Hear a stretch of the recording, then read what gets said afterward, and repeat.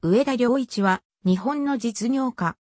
米国三菱商事代表取締役社長、三菱商事代表取締役副社長、NHK 経営委員会、常勤委員兼監査委員長、第22代日本放送協会会長、アジア太平洋放送連合会長等を歴任。長崎県島原市出身。ラサール中学校、高等学校を経て、一橋大学法学部卒業後、三菱商事株式会社に入社。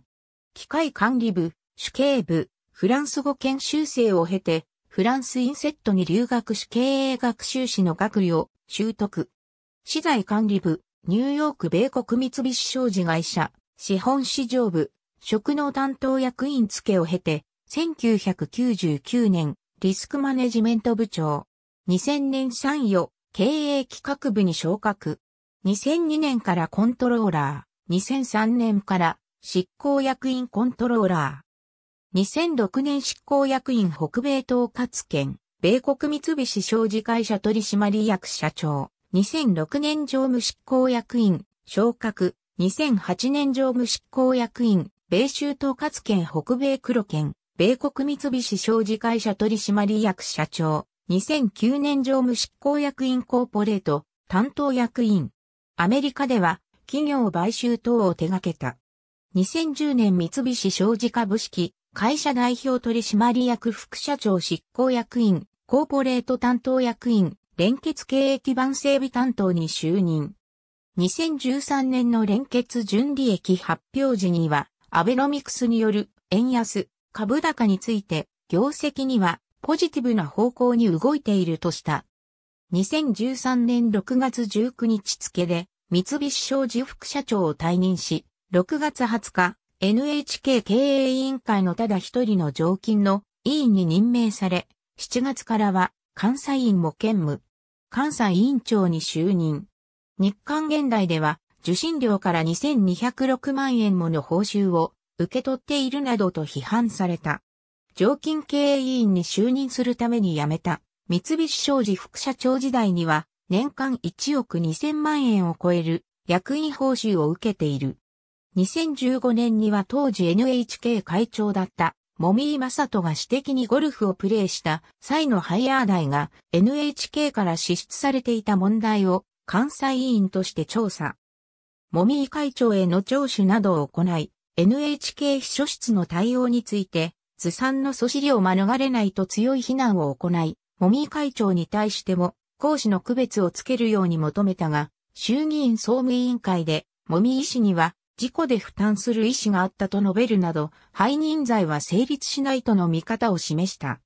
この間一般社団法人、女水会副理事長、国立大学法人お茶の水女子、大学経営協議会委員、公益財団法人放送文化基金評議員なども歴任。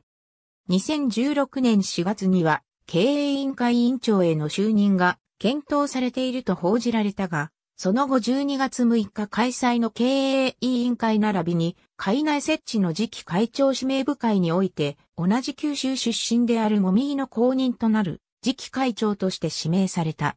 経営と実務の完全分離を原則とする NHK において、経営委員が会長となるのは、安倍正幸女第9代会長以来57年ぶりのことである。2017年1月25日、NHK 会長に就任。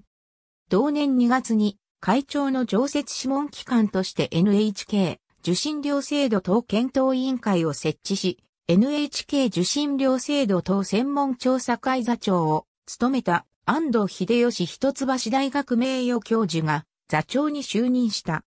同委員会は同年6月に受信料制度に関する答申案を出し、NHK の放送受信用のアプリケーションソフトウェアをダウンロードしたインターネット利用者から新たに受信料を徴収し、一般のインターネット利用者は対象外とすべきとした。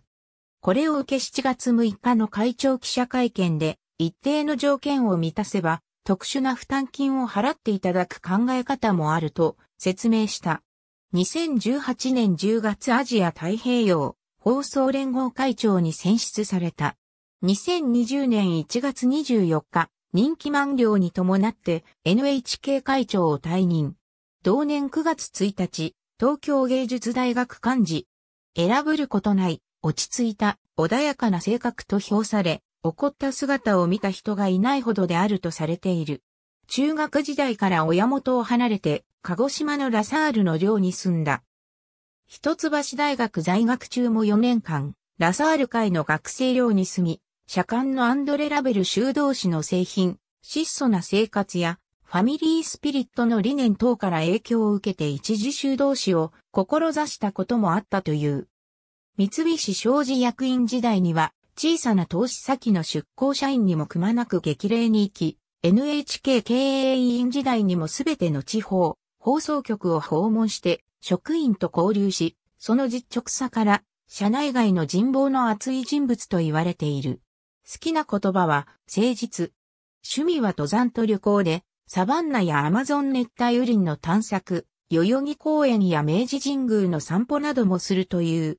三菱商事山岳部で知り合った妻との間に3人の子供がいる。2013年に NHK 職員となってから連続テレビ小説を全作視聴している。